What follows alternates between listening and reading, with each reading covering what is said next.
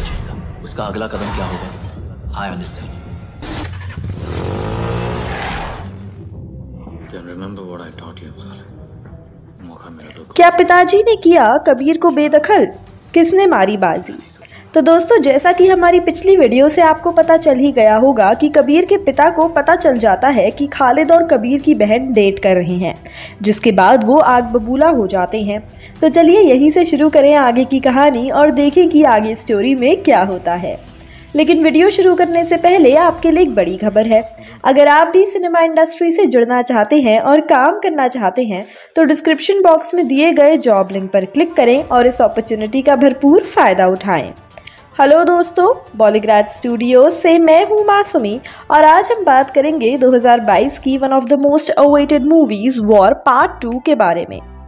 कबीर के पिता गुस्सा होकर उस पर चिल्लाते हैं और कहते हैं, पूरी दुनिया में तुझे बस यही एक लड़की मिली, और किसी से तेरा दिल नहीं मिला क्या?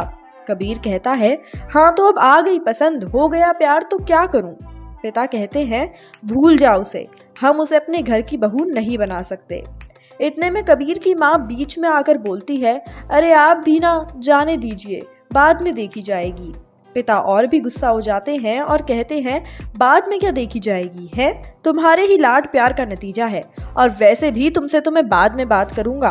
तुम तो जानती थी ना ये सब, बताया क्यों नहीं? जानती नहीं क्या उस खालिद के बच्चे और उसके परिवार को?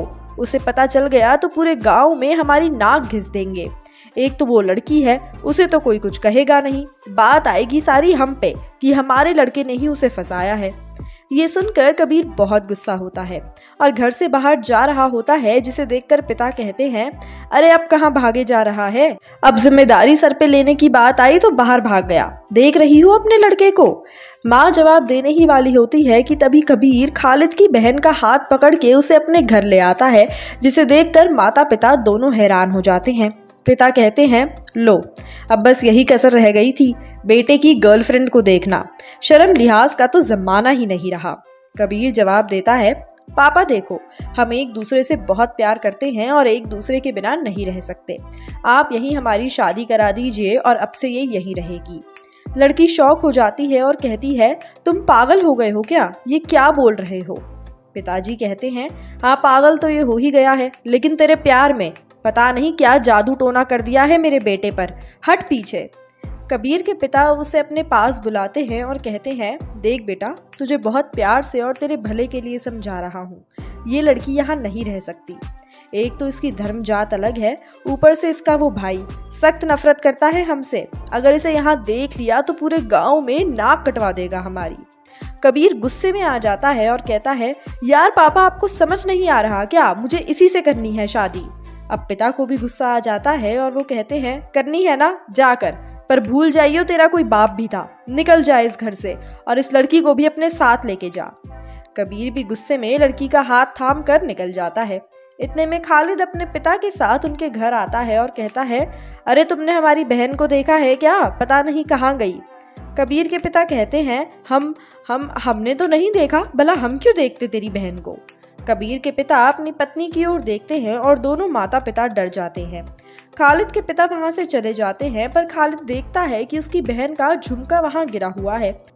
वो ये देखकर कबीर के पिता के पास आकर उसकी कनपटी पर गोली रख देता है और कहता है, देख बुढ़े, तू नीच है, ये तो मैं जानता था, लेकिन इतना नीच है कि किसी की बहन को इसमें ले आएगा, ये मुझे नहीं पता था।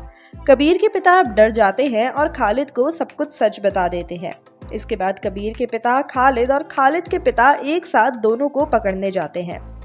कबीर की माँ घर पर अकेली होती है और यहीं से शुरू होगी हमारे तीसरे पार्ट की कहानी, जहाँ पर कबीर और उसकी पत्नी, यानी कि खालिद की बहन मूवी में एंट्री लेंगे और फिर से शुरू होगी घमासान दुश्मनी।